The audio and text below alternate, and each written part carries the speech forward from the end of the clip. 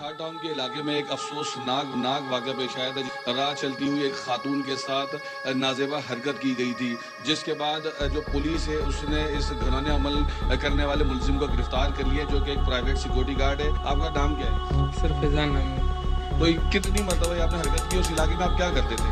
Sir area supervisor था sir सुबह जाना सर एक दो मुझे गलती हो गई था कितनी मरतबा की? सर दो दो दो मरतबा इसने एक्सेप्ट किए क्योंकि दो सीसीटीवी फुटेजेस के सामने आ चुकी हैं। हम से बात करेंगे किस तरीके से आपने इसको मुझे गिरफ़्तार किया कि इसका सुराग कैसे लगा? वीडियो वायरल हुई उस पेज पे वीडियो रिमांड लेंगे तो वो विक्टिम है उन्हें भी लाएँगे सामने। पुलिस की जानब से ये कहा जा रहा है कि इस मामले में जो विक्टिम है जो खातन है अगर वो सामने आ जाएँगी तो इसको सख्त सजा हो सकती है।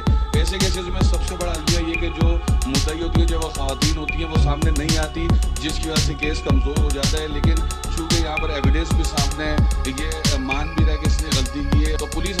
अदालत लेकर पहुँची है और उनका कहना है कि हम पूरी कोशिश करेंगे कि इसका रिमांड हासिल किया जाए और इसने जो गलती की उसके साथ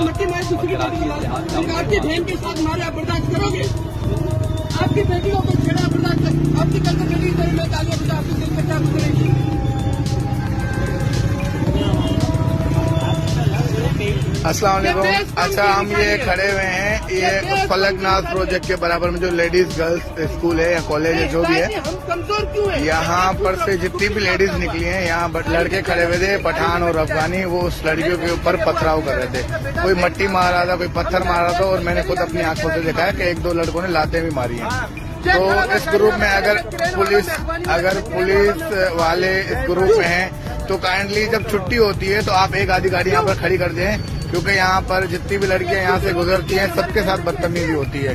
आज हमने देखा ये अंकल है इनकी बेटी को किसी ने पत्थर मारा है तो ये मैसेज दे रहे हैं। मैं ये पुलिस को भेज रहा हूँ आप ये मेरी बेटियों को मारा है यहाँ लोग देख रहे हैं कार और बेटियों को बच्चियों को स्कूल से निकलते हुए लाते मार रहे हैं। और हम बेहस को हम सिर्फ़ तमाशा देख रहे हैं कि मेरी बेटी को नहीं मारा दूसरा अखबार आता है मैं तो फलाना हूँ मैं फलाना हूँ। तो भाई आप मना तो करो आप हंस रहे हो उल्टा उल्टा कैसे मार रहे हो आप। अल्लाह इसको इंसाफ देना है।